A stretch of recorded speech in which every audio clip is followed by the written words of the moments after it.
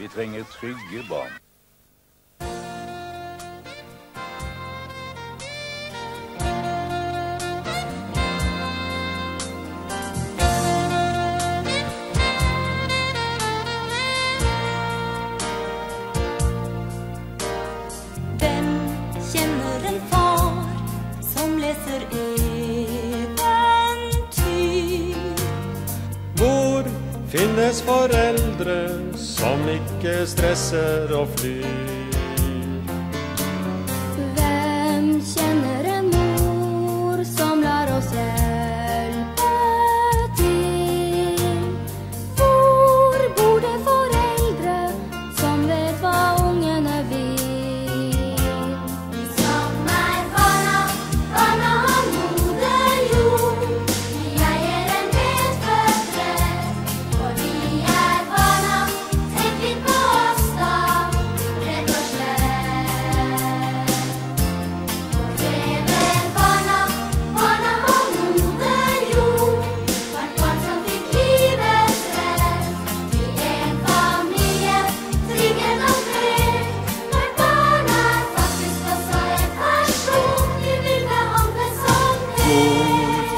oss hjem der barna får rope litt.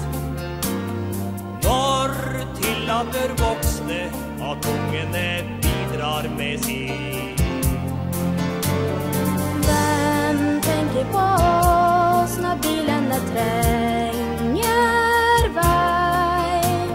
Hva skal du med fremtid hvis fremtiden ikke er meg? Og det aller viktigste det er at vi både får tid og tar oss tid til samleie med barna. Er dere enig i det? Ja! Tenk litt på oss, da.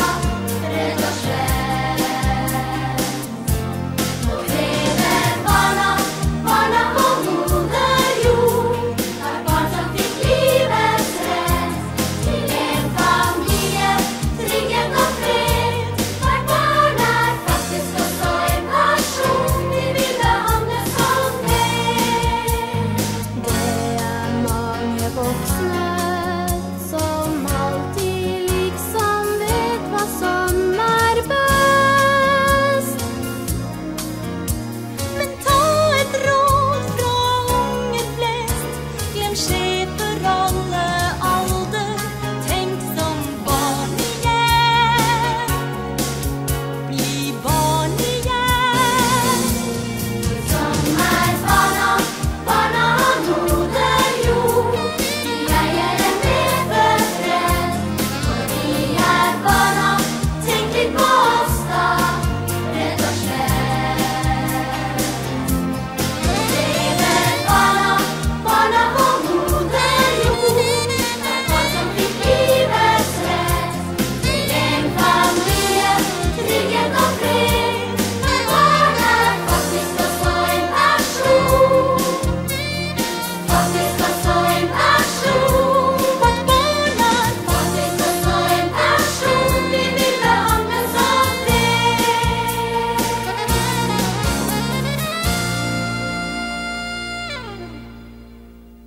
Du vet at barna er vår fremtid.